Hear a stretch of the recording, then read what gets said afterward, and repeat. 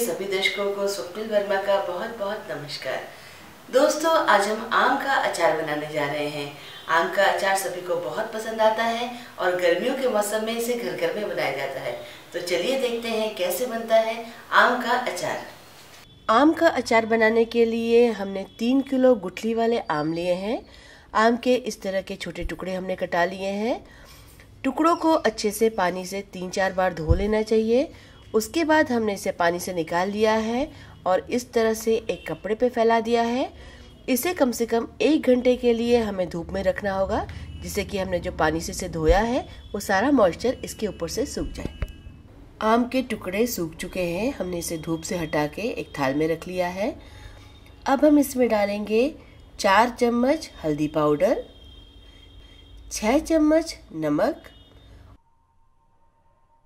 और तीन बड़े चम्मच सरसों का तेल। अब इन सबको अच्छी तरह से मिक्स करेंगे। मिक्स करने के लिए हमने दो चम्मच ले ली हैं और इसे इस तरह से मिक्स करते जाएँगे जिससे कि हर आम के टुकड़े पर हल्दी, नमक और तेल अच्छे से लिपट जाए। आम के टुकड़ों को हमने एक मर्तबान में शिफ्ट कर दिया है।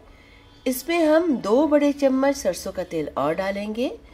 अब मर्तबान का ढक्कन लगा के इसको दो दिन के लिए हम धूप में रख देंगे। दो दिन के बाद आप देख सकते हैं कि इसमें कितना पानी नीचे आ चुका है। आम के टुकड़ों ने पानी छोड़ा है। अब हम इन टुकड़ों को इस पानी में से निकाल लेंगे। ये पानी हमें नहीं चाहिए, क्योंकि अचार में अगर ये पानी रह जाता है तो अचार जल्दी ख़राब हो जाता है। अब इसे एक बड़े परात में हम निकाल लेंगे। आप देख सकते हैं कि कितना पानी आम के टुकड़ों ने छोड़ा है। अब एक दूसरे बर्तन में मैं ये टुकड़े निकाल निकाल के रख रही हूँ। हमें इसका पानी नहीं चाहिए, सिर्फ़ टुकड़े हम निकालेंगे। सभी आम के टुकड़े हमने एक दूसरे परात में शिफ्ट कर लिए हैं और आप देखिए कि कितना पानी इसने छोड़ा था। ये पानी हम फेंक देंगे। अचार में हम जो मसाले डालेंगे वो इस प्रकार है। 50 ग्राम जीरा 50 ग्राम सौंफ 50 ग्राम मेथी 50 ग्राम हल्दी 150 ग्राम राई और 200 ग्राम नमक। मेथी और राई को हमने पहले अच्छे से धो के और धूप में सुखा के उसके बाद हमने मसाले के लिए इसका इस्तेमाल किया है। और हमें चाहिए दो छोटे चम्मच कलौजी 25 ग्राम कुटी हुई लाल मिर्च, ये तीखी लाल मिर्च है, और 25 ग्राम कश्मीरी लाल मिर्च या देगी लाल मिर्च, ये अचार को एक अच्छा कलर देगी। मेथी, सौंफ और जीरा को हम हल्का सा भून लेंगे। उसके बाद राई के साथ इन सभी मसालों को मिला के ग्राइंडर में पीस के एक पाउडर तैयार करेंगे। मसालों को हमने हल्का सा भून लिया है।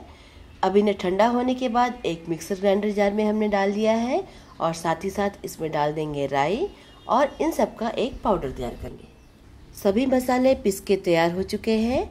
अब इस पिसे हुए मसाले को हमने एक बड़ी परात में डाल दिया है।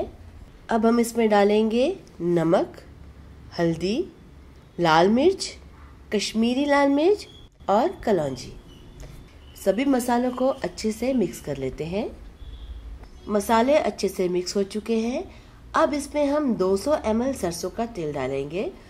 सरसों का तेल हम कच्चा ही इस्तेमाल करेंगे, इसको पका के इस्तेमाल नहीं करेंगे। सीधे बॉटल से मैं इसमें डाल रही हूँ। क्योंकि जब हम आम का अचार बनाते हैं तो उसमें सरसों का तीखा, झार वाला तेल बहुत अच्छा लगता है उसका टेस्ट और अचार बनने में कम से कम एक महीने का टाइम तो लगता ही है। तो सभी मसाले और तेल धूप में ही बहुत अच्छी तरह से पक जाते हैं। तेल को भी मसालों के साथ अच्छे से मिला लेते हैं। अब हम इसमें आम के टुकड़े डालेंगे। मसालों के साथ आम के टुकड़ों को अच्छी तरह से मिक्स करेंगे। इस तरह से हमें मिक्स करना है कि हर आम के पीस पर मसाले अच्छी तरह से लिपट जाए। आप देख सकते हैं सभी आम के टुकड़े मसाले से अच्छी तरह से कोट हो चुके हैं। अब आम के टुकड़ों को एक मर्तबान में शिफ्ट करना है।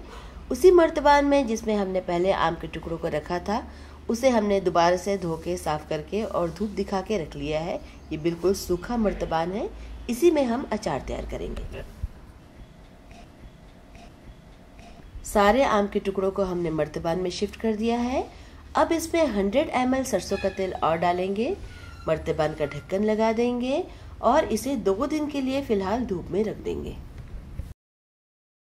दो दिन के बाद आप देख सकते हैं कि ये ऊपर से अचार सूखा लग रहा है, क्योंकि हमने जो तेल डाला था वो नीचे तली में बैठ चुका है। अब हम इसमें इतना तेल डालेंगे जिससे कि ये अचार पूरी तरह से तेल में डूबा रहे। हमने इसमें इतना तेल डाल दिया है, जिससे कि सभी आम के टुकड़े तेल में डूब चुके हैं। और इसमें मुझे एक लीटर तेल डालना पड़ा है, क्योंकि मैं तीन किलो आम का अचार तैयार कर रही हूँ। अब मर्तबान का ढक्कन लगा देंगे और इसे एक महीने के लिए धूप में रख देंगे। आम का स्वादिष्ट अचार बिल्कुल तैयार हो चुका है। ये 25-26 दिन में ही बन के तैयार हो गया है, क्योंकि आजकल धूप बहुत अच्छी आ रही है। और ये अचार एक बार बनने के बाद अगर आप साफ़ सफ़ाई से रखेंगे मॉइस्चर से बचा के रखेंगे तो सालों साल तक ख़राब नहीं होता। दोस्तों, आपने हमारा आज का एपिसोड देखा होगा और उम्मीद करती हूँ कि आपको हमारा व्यंजन पसंद आया होगा।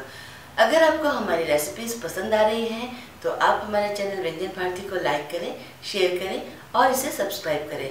सब्सक्राइब का बटन दबाते वक्त बेल आइकन को भी ज़रूर हिट करें, जिससे कि हमारी सभी रेसिपीज़ की नोटिफिकेशन आपको समय से मिल सके। अगली कड़ी में एक नए व्यंजन के साथ फिर से मुलाकात होगी। नमस्कार।